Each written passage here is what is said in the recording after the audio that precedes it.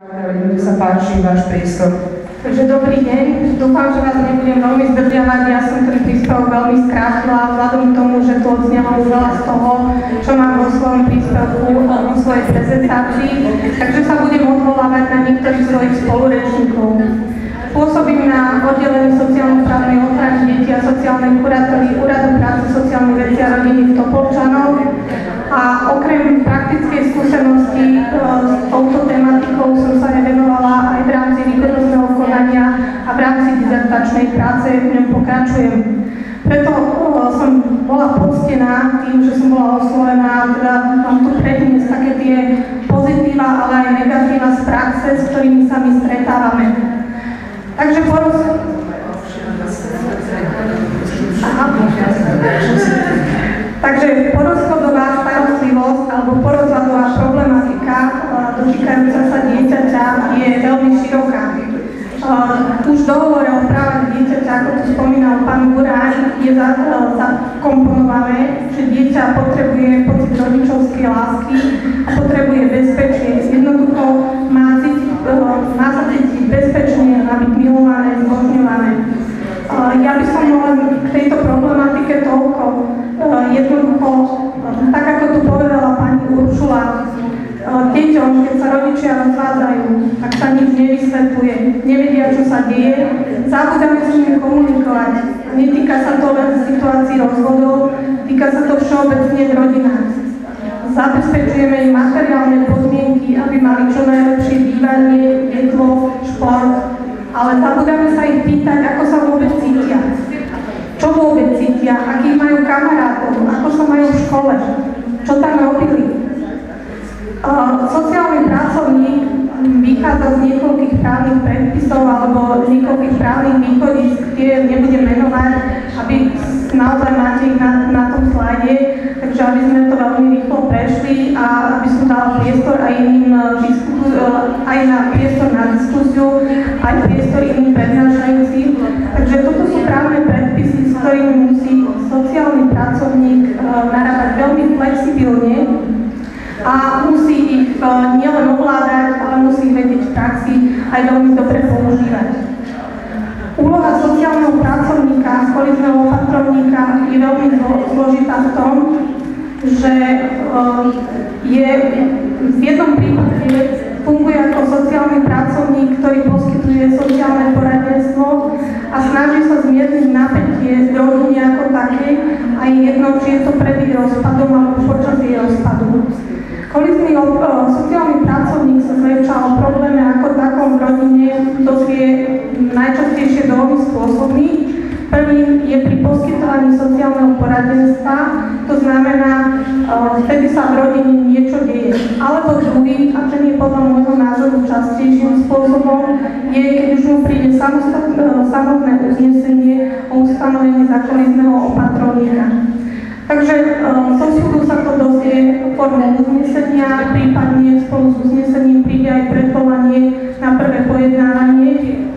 A vtedy uh, nastáva jeho úloha úplne v opačnom rade, kedy musí zachovať plnú objektivitu ako kolizný opatrovník a je úplne uh, musí hájiť záujem toho dieťaťa, nie tak ako sú niektorí rodičia možno zvyknutí, že bude ich advokátom. Kolizný opatrovník je akoby advokátom dieťaťa a má aj záujem dieťaťa aj proti záujmu obidvoch rodičov.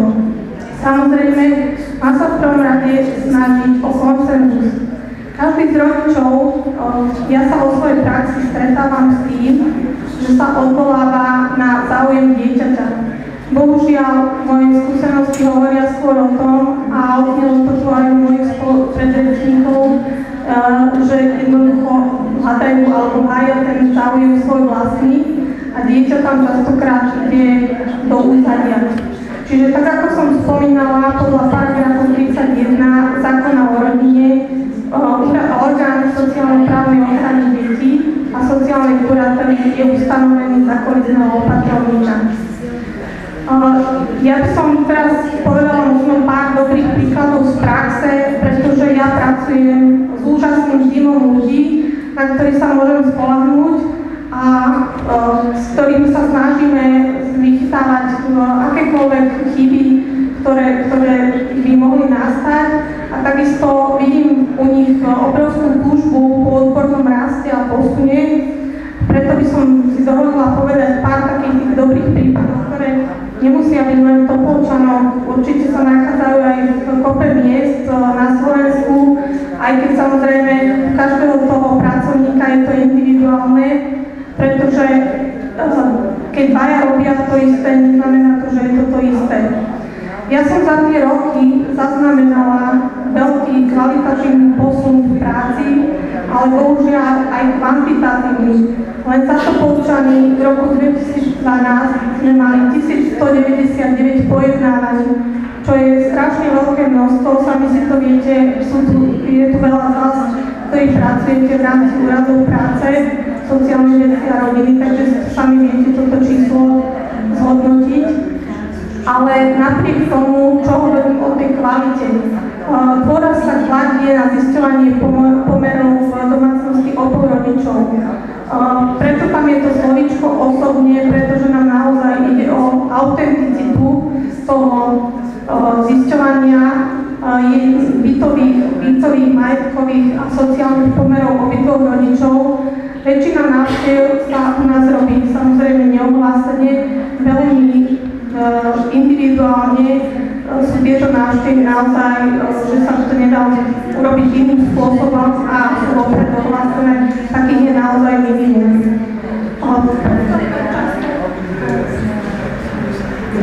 Podstatnou časťou tej práce našej je zisťovanie názoru dieťaťa, ako hovorí, respektíve ak sa odvolávam na dohovor o právach dieťaťa, nikde sa neuvádza vek, v akom sa toto zisťovanie názoru môže robiť.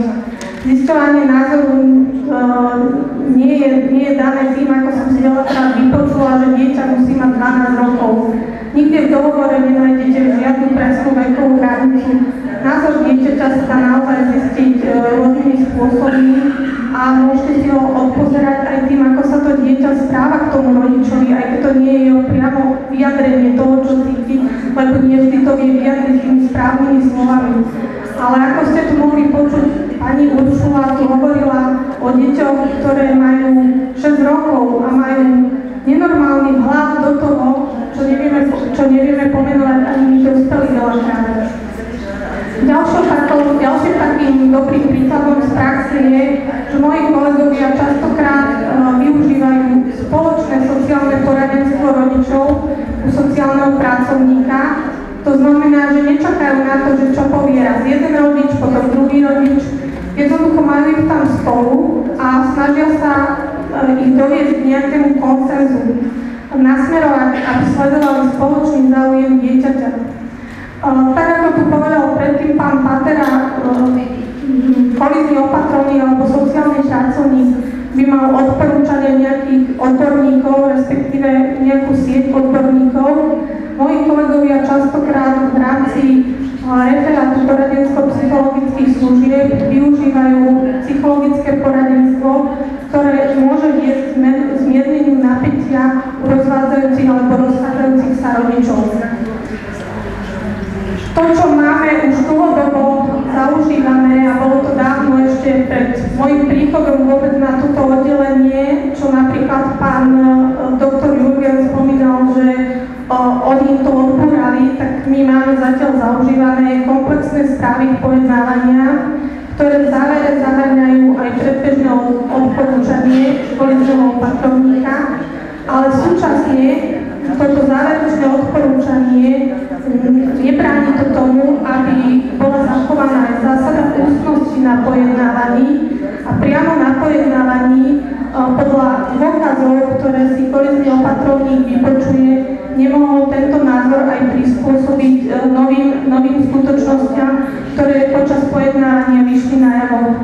To znamená, že naozaj, tak ako som spomínala, že musia flexibilne využívať právne normy a predpisy, naozaj musia flexibilne chrániť aj záujem dieťaťa aj týmito reakciami.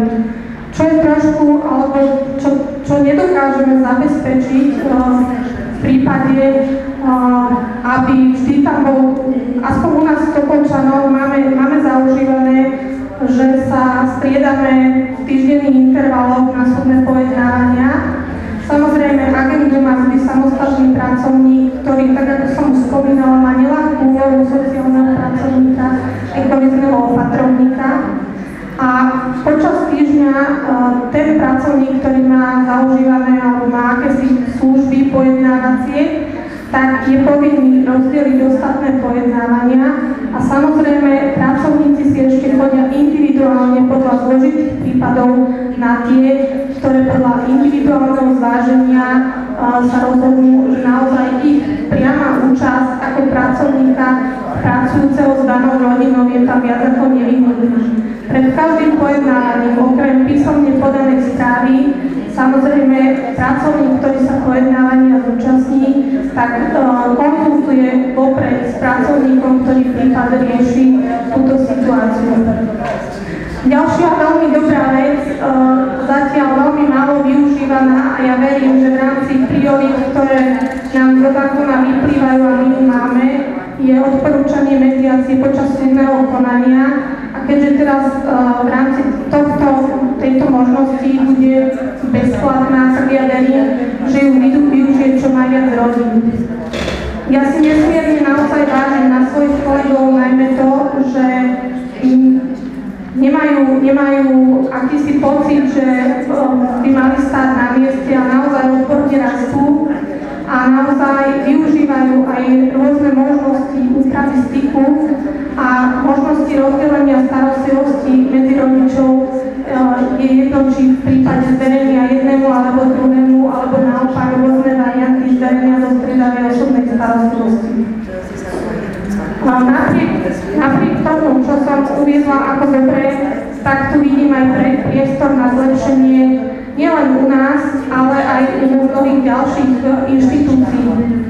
Zo strany kolizných opatrovníkov ja považujem za viac ako neodborné a nekompetentné, ak nemá znalosť pomerov rodine dieťaťa už na prvom pojednávaní a na toto pojednávanie sa ide len oboznámiť akoby s návrhom, prípadne s účastníkmi konania. A teraz to ne, tým nemám na mysli to, že ide tam iný pracovník, myslím všeobecne orgán sociálno-právnej ochrany detí a sociálnej kurately, pretože v týchto prípadoch sa predlžujú zbytočne pojednávania, kedy veľakrát, ak e, svojim odborným prístupom kolizný opatrovník e, poskytne rodine veľmi dobré poradenstvo, tak môže ísť už na prvé pojednávanie s dohodou, pričom túto dohodu zväčša, je v záujme dieťaťa, súd aj schváli.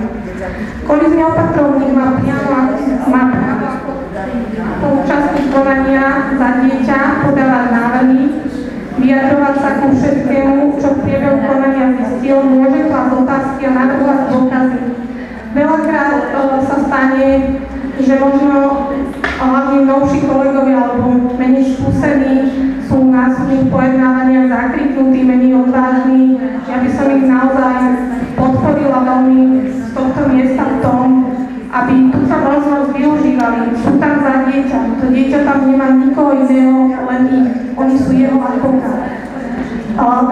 Naozaj treba využívať aj možnosť vypočutia znalca. Nielen vypracovania znaleckých posudkov, ale naozaj, ak zistíte, že znalec má odlišné zistenia, ako ste vy zistili počas sociálnych šetrení, máte právo klásť otázky, máte právo ho konfrontovať s tým, ako dostal k záveru, ku ktorému dospel. Ja v praxe poznám príklad, kedy nám funguje striedavá osobná starostlivosť na predbežné opatrenie. V znaleckom posudku sa nachádza, že ani u jedného rodiča nebola vykázaná patológia, dieťa má k vysoko pozitívny a napriek tomu dieťa sa odporúčilo zveriť matke len z dôvodu, že je na predlženej materskej dovolenke. Ja osobne by som sa pýtala potom na pojednávaní, prečo takýto záver, keď obidvaja sú dobrí, dieťa obidvoch má rado, či len tá predlžená materská dovolenka je dôvodom na zverenie matke. Takže naozaj ďalší priestor zlepšenie.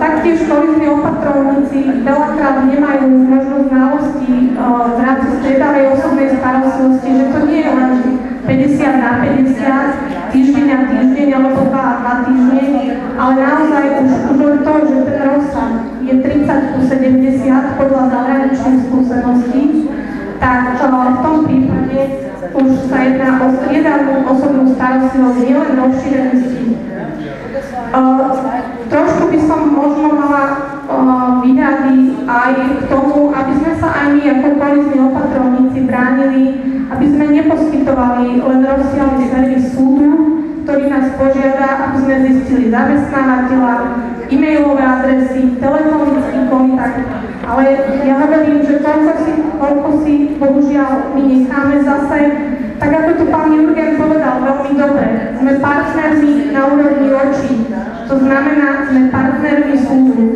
Nemáme sa nechať manerovať do niečoho, čo, čo sme zistili inak. A takisto by som chcela na vás apelovať možno aj v tom, samozrejme je to pri každej situácii individuálne, ale sami si odpovedzte na otázku. Zdá sa vám 4 dní na, na nabudovanie alebo udržanie kvalitného vzťahu rodič-dieťa dostatočné? Najčastejšou formou, keď som skúmala v rámci rigorózneho konania práve úpravy styku, tak je od piatku do nedele zväčša s prespatím alebo bez neho. Ja si myslím, že v mnohých prípadoch by bolo možné zážiť aj využívanie možno dvoch hodín odpoludnia, dvakrát do týždňa. Ale aj to je ďalšia, uh, ďalší priestor na zlepšenie, či už zo strany návrhov koaličných opatrovníkov alebo zo strany súdu. A tak viac menej pomaly na záver by som mala tu jeden slajd týkajúci sa často prezentovaného, čo je domov a kde je domov. Veľmi pekne to tu povedala pani Uršula, keď ocitovala jedno dieťa. Nič sa nezmenilo, len bývame v dvoch bytoch. Domov, deti, zväčša, my dospelí domov vnímame ako miesto, kde sa zdržiavame. Ale keď som sa rozprávala s viacerými deťmi, tak pre nich je domov pocit bezpečia, lásky, je tam, kde sú ľudia, ktorých miluje a s ktorými mu je dobre. Dieťa nie je fixované na majetok alebo na nehnuteľnosti. Je fixované a zorientované na vzťahy, zážitky, pocity a emócie. A možno pár odporúčaní pre prax. Ako tu odznelo aj medzi diskutujúcimi, bolo by dobre akceptovať zmenu spoločenskej klímy a väčšiu angažovanosť otcov, ktorí sa možno sami a možno aj vinou zo strany ženského pohľavia málo zapájali do výchovy, rešpektovať rovnoprávne postavenie rodičov, nevnímať matku ako jediného rodiča s predispozíciou starať sa o dieťa, ale tak ako hovoril uh, pán uh, sudca z Portugalska, aj oni mali kedysi hlavného a vedľajšieho rodiča. Snažme sa možno ísť touto cestou rýchlejšie, ako išli oni. Takisto vidím priestor v rozšírení mediácie v praxi, možno už pri prvom pojednávaní alebo pred prvým pojednávaním. A keďže tu Inštitút striedavej osobnej starostlivosti máme veľmi málo alebo veľmi krátko, len nejakých 2,5 roka od 1. júla 2010, tak naozaj by som ešte nehodnotila jej pozitíva a negatíva. Podľa mňa je to veľmi krátka doba na to, aby paušalizovala, alebo aby spoločnosť paušalizovala, že návrh na zvýšenie výživného zo strany matky rovná sa hneď proti, proti návrh na striedavku zo strany otca. Ja aspoň za náš okres môžem povedať, že to nepodložené tvrdenie a naozaj si myslím, že tento inštitút treba na, nejakým spôsobom vyskúmať a vyhodnotiť aspoň po nejakom 5-ročnom časovom období. A ja si na záver dovolím už len citát, ktorý vidíte hore. Pochopte svoje deti, nemáte pred sebou hlupáčikov, ktorých jedinou záchranou je, čím skôr sa vám podobať. Máte pred sebou iný svet, taký svojprávny a krásny, ako svet z inej planety. Tak pomôžeme vzájomne deťom a buďme ich dobrým advokátom. Ďakujem.